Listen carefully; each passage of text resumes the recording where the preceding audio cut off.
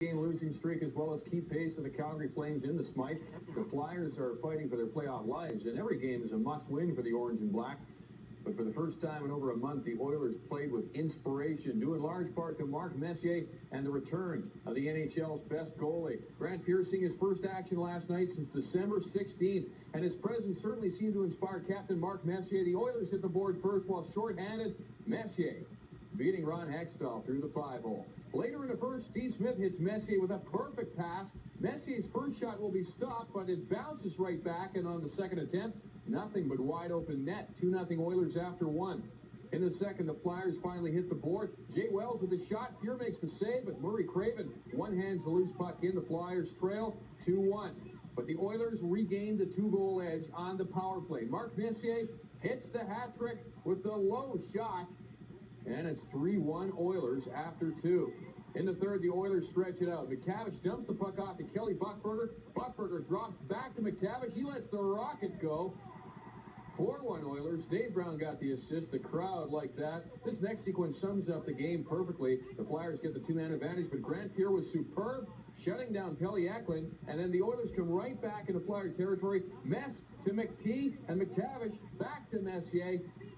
His fourth goal of the night, his second shorthanded. The Oilers cruised on to a 5-3 win over Philly. Grant Fuhr was outstanding in his return to the Oiler net, stopping 35 of 38 shots. Mark Messier was even better, scoring four goals, giving him a career-high 113 points and moving him one step closer to the Hart Trophy.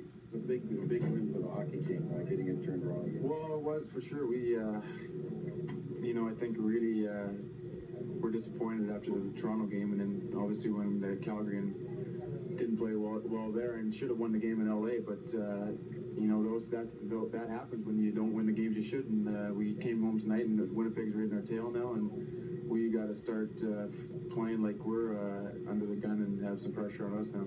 Well, I thought we played excellent. Uh, we were skating real well tonight, and uh, we kept the puck going forward. We had a lot of momentum coming through the neutral zone. Also, on the, our entries were pretty good too, and we checked real well. And we got big goals from Mark Messier and good goalkeeping from Grant Fuhr and. Mac T was just superb and uh, killing penalties tonight. Grant Fuhr, uh, he certainly didn't look rusty for having all the time off from the surgery, and uh, I thought he played well tonight. Well, Messier, how you defending against a guy like that? Hope he doesn't play, first of all, but unfortunately he did tonight. he's a great player. I, I think uh, he's the best player we've seen this year, and uh, I think he's, he certainly deserves the MVP.